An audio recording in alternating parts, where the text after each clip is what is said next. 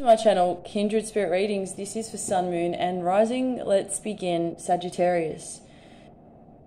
There's a, a huge fire breathing dragon.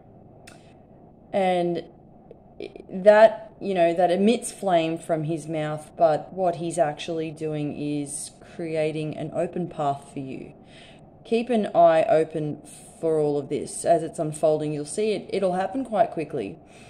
Um, don't miss this opportunity. It will be the, the key to freedom uh, and success. You might be prone to upsetting a female. Uh, she's quite sensitive, and you are hard headed, and so you don't see eye to eye. And so she's tearing up, and she's not happy about what you've said to her, and you know, things could go backwards and turn sour really, really quickly. Um, it's up to you to fix things if you want to work things out. It's not not the biggest problem in the world, but it's still a big problem for her.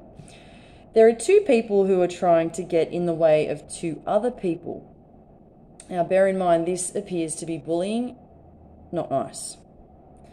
There is a letter S and a really, really sad person beneath it.